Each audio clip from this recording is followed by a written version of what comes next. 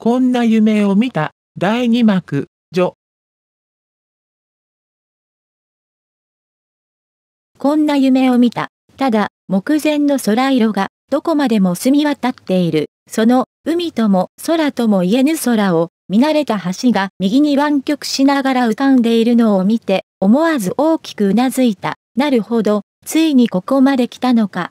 日に、通りがかった男が、ぽつりと何やらつぶやいた。私の気が向くのを待たないうちに、西へ行く日の、果ては東か？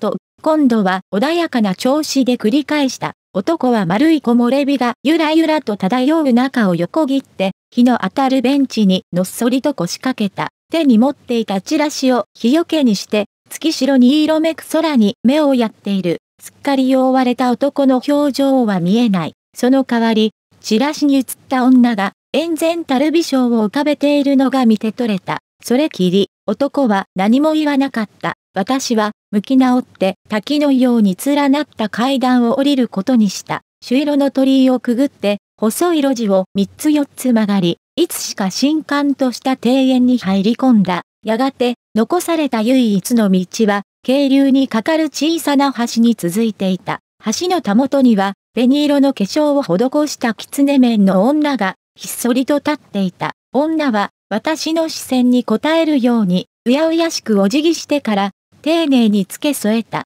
さあ、おいで、先ほど目にした女に違いなかった。その時、診療の風が首筋から背筋をゾワゾワと吹き抜けた。色づき始めたばかりの赤や黄色の葉がハラハラと舞い、音もなく地面へ落ちた。気がつくと、女はすでに橋の向こうへ渡っていた。一体、どこに参るというのですか？立ち尽くしたまま尋ねた。女は黙って木々を見上げた。一本の光がまっすぐ女の金色の目を照らし出し、円然たる眼差しを一層強めた。葉は空の中、回る、回る。女はひどく冷淡な調子でつぶやいた。そうして、先に女がしずしずと歩み始めた。私は一瞬躊躇したが、女の後に続いた。いざ歩き出すと、先ほどまで通っていた道はより狭く、渓流はより大きく思えた。渓流の下流には池があった。池を囲むように、松やもみじ、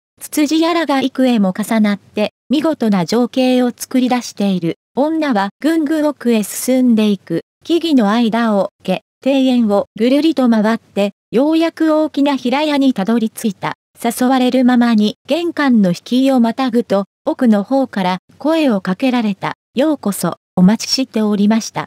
届けられた声はいささか妙であったが、軽やかに漂うような心地よい調子をしていた。声を頼りに恐る恐る屋敷の奥へ入り込んでいくと、明かりの灯った部屋の前で、すでに狐面の女が待っていた。妙な声の主はその中にいた。失礼します。こちらでよろしいですか？との前で声をかけた。どうぞこちらへ。特に心を引く思い出を記せる方は歓迎いたします。声の主が答えた。丁寧にお辞儀して中へ入った。お疲れ様でした。どうぞ、ごゆるりとなさってください。心ゆくまで休まれたら、このさらに奥の奥へとお進みください。新しい旅の支度をしていただけます。声の主が言った。そうですか。神妙な面持ちで小さくうなずいた。決してご遠慮はありません。新しいあなたに出会える旅が待っています。声の主が言った。そうですか。と答えた。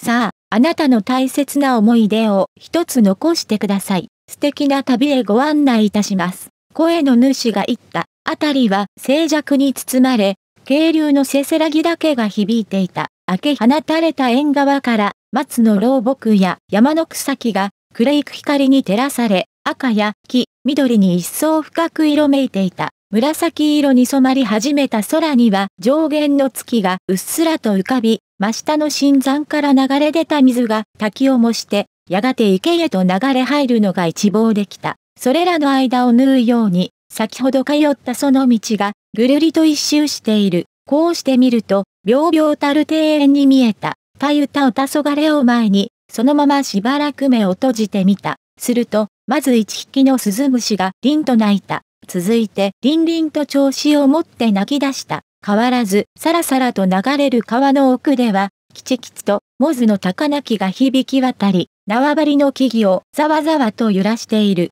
その度にこの葉はひらひらと落ちて、ある葉は地面へ、ある葉は川へ、ある葉はくるくると円を描いてから池へ、それぞれ落ちた。東山のまだ光の残る空のたもとでは、東出る日の、お里は西か、と穏やかに繰り返す声がした。そこには、ありしと同じ人影があった。腰方の橋はすっかり霞み、行く先もまた同様に面影だけを残して消えてしまうと、青の青さだけが空に残り、あたりはすっぽりと空に包まれた。やがて訪れる夜の気配に、手足はすっかり冷たく萎縮し始めていた。さあ、さあ、どうぞ奥へいらしてください。手取り足取りご案内いたします。声の主が言った。冷えた体をゆっくり動かし、奥の方へ入り込んだ。薄暗く何もないところに、ぼーっと狐面の女が現れた。私は驚きもせず、シンクの輝きが浮かび上がっては、心地よい感覚だけを残して消えるのを見ていた。狐面の女は私の手を取ると、さらに奥へと案内した。私は素直に案内に従い、運ばれるままに動いた。次第に冷え切った手足に血色が戻り、一転して全身が温まっていくのを感じた。突然、扉が開いて、パッと光が差し込んだ。キラキラと明滅する無数の光があたりに広がり、視界が上げ放たれると、澄み切った空に空色が浮かんでいた。いってらっしゃいませ。西へ行く日の果ては東か、それはほんまか、東出る日のお里は西か、それもほんまか、葉は空の中、風任せ、回る、回る。